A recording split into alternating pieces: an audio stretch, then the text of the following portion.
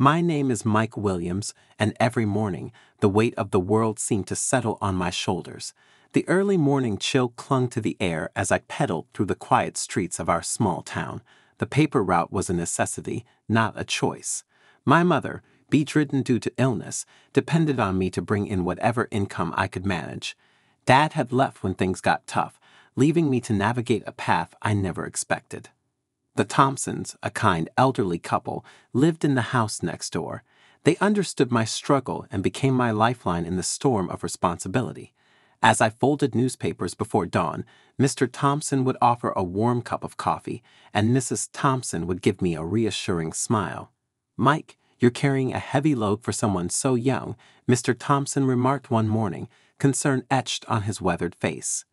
I sighed, feeling the weight of my responsibilities. I wish I could go to school, Mr. Thompson, but there's no time. Mom needs the medicine, and the bills keep piling up. Mrs. Thompson, her eyes filled with empathy, placed a hand on my shoulder. You're a good boy, Mike. But don't forget to dream. Life has a funny way of surprising you when you least expect it. Those words lingered in my mind as I set out on my bike, newspapers strapped to the back. Each throw of a paper onto a doorstep felt like a step away from my dreams. Education became a luxury, and my aspirations felt like distant stars in an unreachable galaxy. One day, as I was folding papers on the Thompsons' porch, Mr. Thompson handed me an envelope. Consider it a little help, Mike. You're not alone in this. I looked inside to find a few extra dollars. It wasn't just the money, it was the acknowledgement that someone cared. As I rode away that morning, the weight on my shoulders felt a bit lighter, if only for a moment. The Thompsons' simple act of kindness was a reminder that even in the darkest times, a glimmer of hope could emerge from unexpected places. The pre dawn chill bit through my jacket as I pedaled my rusty bike through the quiet streets. The paper route had become a routine, a relentless cycle that mirrored the challenges of my life. The soft thud of newspapers hitting doorsteps echoed in the stillness of the morning. Mr. Thompson had given me a small flashlight to navigate the dimly lit streets. One morning, as I fumbled with the switch, he chuckled from his porch. Mike, you need to aim it at the ground, not the sky. You're waking up the entire neighborhood. I laughed, appreciating the lightness he brought to my early mornings. Sorry about that, Mr. Thompson. Still getting the hang of this. Mrs. Thompson, sipping her coffee by the window, called out, Mike, dear, don't forget to eat. A growing boy like you needs his strength. I nodded gratefully, realizing that their concern went beyond financial support. The Thompsons had become my surrogate family, filling the void left by my absent father. Each house I visited held its own story, its own struggles. The routine of delivering papers became a silent bond between me and the town's early risers. One chilly morning, Mrs. Jenkins, an elderly lady with a perpetual smile, opened her door as I handed her the newspaper. You're a hard-working young man, Mike. What's your secret? I shrugged, my breath visible in the cold air. No secret, Mrs. Jenkins, just trying to make ends meet. She reached into her pocket and handed me a piece of candy. Well, don't forget to enjoy the sweetness of life, even when it seems bitter. The simplicity of her words lingered with me as I continued my route. It was a lesson in resilience, a reminder that even in the mundane routine, there were moments of connection and wisdom. As the sun dipped below the horizon, signaling the end of my paper route, I returned to the Thompsons' porch. Mrs. Thompson handed me a warm bowl of soup. You must be exhausted, Mike. Take a moment to rest. I sat with them, grateful for the warmth and companionship. In those quiet moments, I found solace, knowing that even in the early mornings and late nights, I wasn't entirely alone. The Thompsons had become my anchors, providing not just financial support, but a sense of belonging that made the weight of responsibility a bit more bearable. As the sun dipped below the horizon, the town slept while I navigated the darkened streets on my bike. The routine of delivering newspapers had become second nature, but my mind craved more than the monotonous rhythm of my daily life. The university, with its majestic buildings and open windows, seemed like an oasis of knowledge, tantalizingly closed yet impossibly distant. One chilly evening, as I paused on my route to steal a glance at a lecture through an open window, a voice startled me. Fascinated by knowledge, young man, I turned to find an elderly janitor, his wrinkled face carrying the wisdom of years.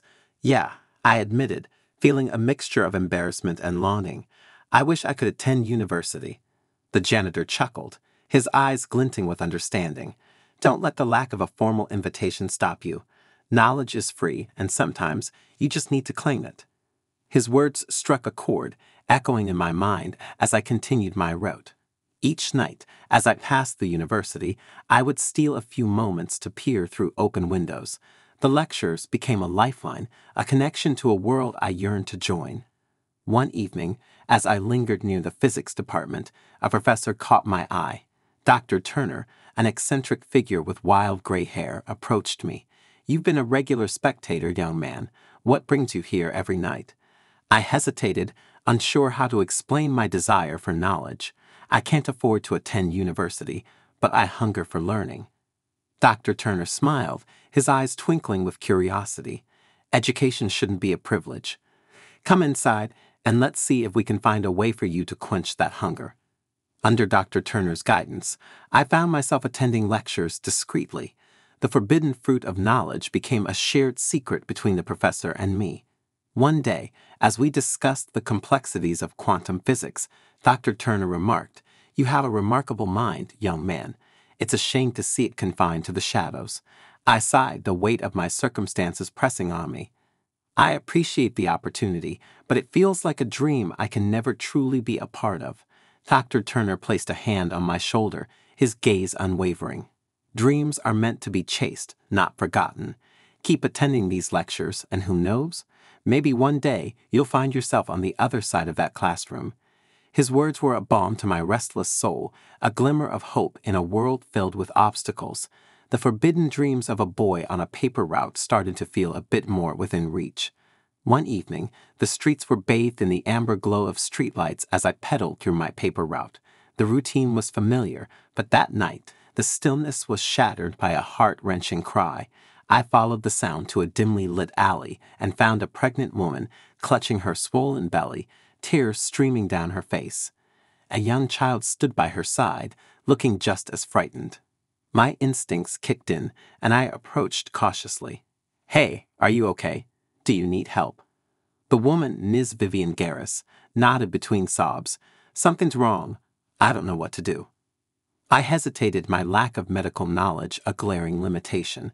Still, compassion outweighed uncertainty. I'll call an ambulance. Everything will be okay.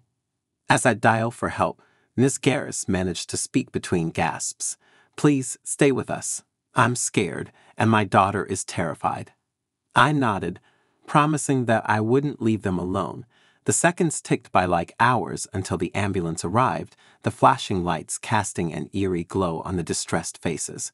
I provided what comfort I could, feeling the weight of responsibility in a situation beyond my control. In the ambulance, Ms. Garris clutched my hand. Thank you for stopping. I don't know what we would have done without you. The child, looking up at me with tearful eyes, whispered, Thank you, mister. As they were rushed into the emergency room, I stood in the cold night air, realizing that life had an uncanny way of thrusting people into our paths. The encounter left an indelible mark on me, a reminder that sometimes stepping into the unknown could lead to unexpected connections. The next day, a bouquet of flowers arrived at the Thompsons' doorstep with a heartfelt note from Miss Garris. To our guardian angel, thank you for being there when we needed it the most. Mr. Thompson, reading the note aloud, smiled warmly. Seems like you've got a knack for being in the right place at the right time, Mike. I chuckled, feeling a mix of humility and gratitude. I just did what anyone would do. Mrs. Thompson, handing me a plate of cookies, replied, Not everyone would, dear. It takes a special kind of person to step up in moments of crisis. As I bit into a cookie, the sweetness lingered on my tongue, a stark contrast to the bitter challenges life often presented. Little did I know that the cry in the dark would be the catalyst for a life altering connection with the Garris family, shaping the trajectory of my future in ways I couldn't have imagined. The sun had barely dipped below the horizon when the next chapter of my life unfolded. Ms. Vivian Garris, the pregnant woman from the alley, turned out to be more than a passing stranger in distress. Grateful for my help, she insisted on introducing me to her father, a university professor, as a token of her appreciation. A few days later, I found myself standing in the Garris family's living room, still feeling like an outsider in their world of elegance and sophistication. Ms. Garris, though visibly tired from the recent events, welcomed me with a warm smile. Mike, meet my father, Professor Garris. The elderly professor, with a kind twinkle in his eyes, extended his hand. Vivian has told me about your selfless act. I'm grateful to you for helping my daughter and granddaughter. I shook his hand, feeling a mix of nervousness and gratitude. I'm just glad I could be there for them. Vivian, with her hand on her belly, added, Mike, you're like our guardian angel. We can't thank you enough. As weeks passed, the Garris family became a part of my life. Despite our different backgrounds, they treated me with kindness and respect. Ms. Garris, now visibly pregnant, often invited me for dinner, insisting that I be a part of their extended family. One evening, as we sat around the dinner table, Professor Garris spoke. Mike, Vivian tells me you're interested in education. Is that true? I hesitated, not used to discussing my aspirations with people who lived in a world so different from mine. Well, I've always wanted to go to university, but life had other plans. Vivian's eyes lit up with understanding. Dad, Mike here sneaks peeks at university lectures during his paper route. Isn't that something? The professor leaned back, studying me thoughtfully. Knowledge has a way of finding those who seek it, Mike. Would you be interested in attending some of my lectures officially? I could arrange for you to sit in. I was taken aback, the offer feeling like a dream I didn't dare entertain. You do that for me. Vivian squeezed my hand. Consider it a small token of our gratitude. You deserve every opportunity, Mike. And just like that, the forbidden dreams of sitting in a university lecture hall became a reality. The Garris family, in their generosity, opened doors that had been closed to me for so long. Little did I know, this newfound connection would be the key to unlocking a world of possibilities, bridging the gap between the life I knew and the dreams I dared to dream. Under the Garris family's wing, I found myself stepping into a world vastly different from my own, Professor Garris, recognizing my passion for learning, extended a surprising offer that would change the trajectory of my life. One afternoon, as I sat in the Garris family's cozy living room, Professor Garris cleared his throat. Mike, Vivian has told me about your love for education. I've been observing your dedication to learning during my lectures. I believe you have the potential for so much more. I shifted uncomfortably in my seat, unused to such attention and consideration. Thank you, Professor. I never thought someone like me could be a part of this world. Vivian, her eyes filled with warmth, chimed in, Dad believes in your potential, Mike. He's offered to mentor you, help you pursue your dreams. I stared at Professor Garris, disbelief evident in my eyes. Mentor me. But I don't have the formal education. I'm just a kid with dreams.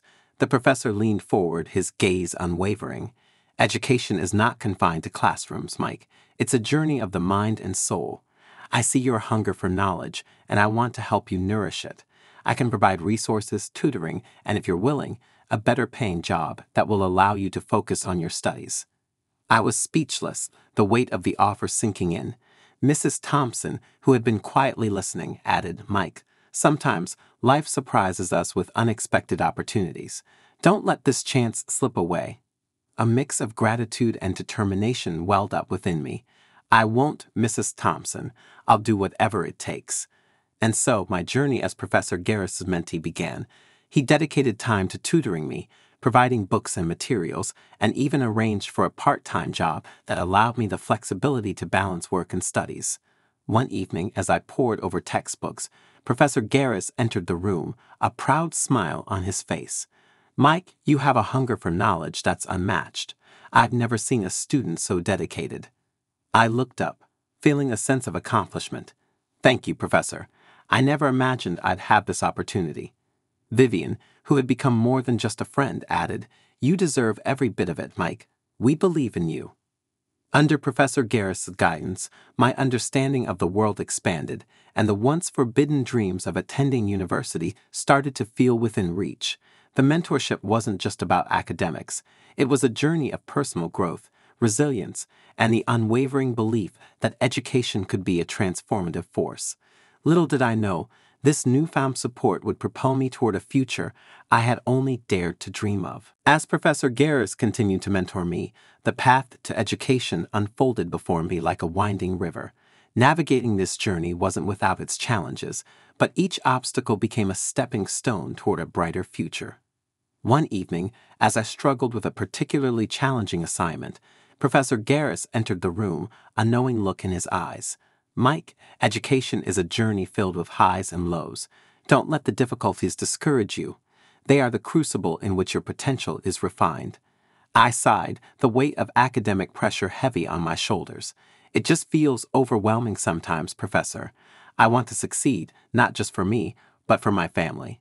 The professor placed a reassuring hand on my shoulder.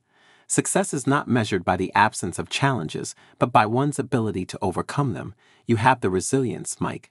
I believe in you. With Professor Garris' support, the challenges began to feel more like opportunities for growth. He not only provided academic guidance, but also shared stories of his own struggles and triumphs, creating a bond that went beyond the student mentor relationship. One day, as I walked into the Garris family home, Vivian greeted me with a warm smile. Mike, I've seen the dedication you put into your studies.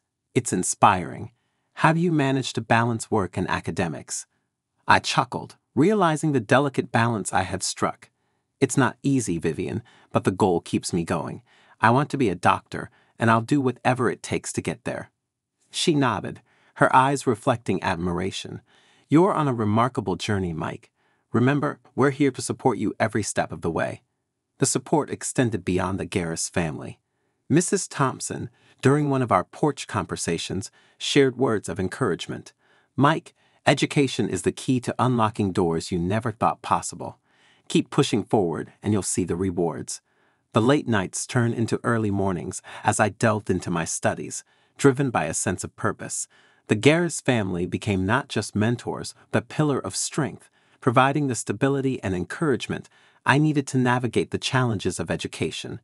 As exams approached, Professor Garris offered guidance on effective study techniques, and Vivian ensured I had a quiet space to focus.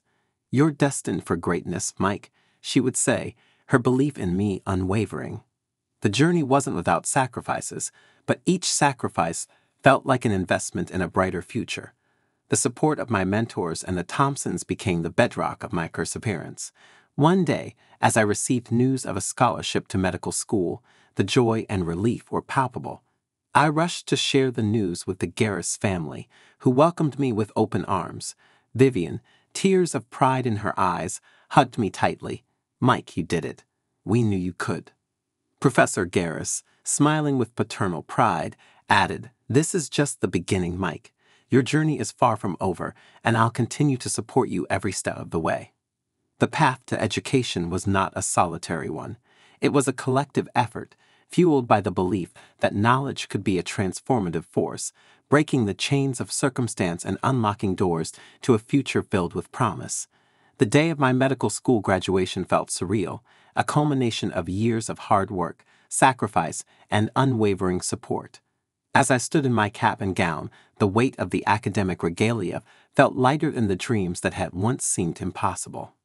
The Garris family, the Thompsons, and a few friends gathered in a crowded auditorium, their smiles reflecting the pride I felt within. Professor Garris, in his academic robes, approached me with a twinkle in his eye. Mike, you've overcome obstacles that would have deterred many. Today, you stand not just as a graduate, but as a symbol of resilience. I shook his hand, feeling a mix of gratitude and accomplishment. None of this would have been possible without your guidance, Professor. I can't thank you enough. Vivian, holding her newborn in her arms, beamed at me. Mike, you're not just a doctor. You're our family. We're so proud of you. As we celebrated at the Thompsons' house, Mr. Thompson raised his glass. To Mike, a young man who turned dreams into reality, your journey has been an inspiration to us all.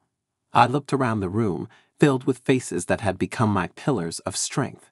Mrs. Thompson, handing me a slice of cake, said, Mike, you've brought joy and success into our lives. It's a pleasure to see you standing tall today. The journey from a paper route to a medical degree felt like a lifetime, and yet it had only just begun. Professor Garris, in a quieter moment, pulled me aside. Mike, This is not the end. I've watched you grow, and I believe you have the potential to achieve even greater things. Never forget the journey that brought you here. The sentiment was echoed by Vivian as she hugged me. Mike, the world needs more compassionate and resilient individuals like you. Use your knowledge to make a difference. The support didn't end with graduation. Professor Garris, true to his word, continued to mentor me as I navigated the complexities of residency and beyond. The Garris family, the Thompsons, and the lessons learned during my paper route became the foundation upon which I built a fulfilling and impactful career. One day, as I treated a patient at the hospital, Professor Garris visited. Mike, you're doing exceptional work. I always knew you had the potential to make a difference in people's lives. I smiled, realizing the ripple effect of the support I had received. Thank you, Professor. I couldn't have done it without you. As the years passed, I established myself as a respected physician, and the dreams that once seemed unattainable became my reality. The Garris family, the Thompsons, and the town that had witnessed my struggles were never forgotten. In moments of reflection, I recalled the early mornings, the late nights, and the cry in the dark that had set my journey in motion. Mrs. Thompson, now a dear friend, visited me at the hospital one day. Mike, you've come a long way from that paper route. How does it feel to see your dreams realized? I gazed out the hospital window, a sense of fulfillment settling within. It feels like I've not only fulfilled my own dreams, but also carried the dreams of those who believed in me. The journey was tough, but it was worth every step. And so, the boy who once faced hardship and prejudice, who found solace in stolen glimpses of university lectures, stood as a beacon of hope and achievement. The dream realized was not just mine, but a testament to the power of resilience, mentorship, and the belief that education could transform lives.